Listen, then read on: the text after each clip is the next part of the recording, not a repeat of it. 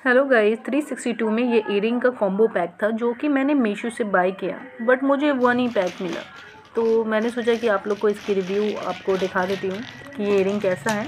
मुझे तो एक ही मिला, इसलिए मैंने इसे रिफ़ंड प्रोसेस में डाल दिया है। देखिए रिफ़ंड तो हो जाएगा, लेकिन आप कभी कभी मुझे लगा मुझसे मिस्टेक तो नहीं हो रहा है कि मैंने कॉम्बो पैक नहीं देखा, लेकिन ये मेरे साथ हुआ है।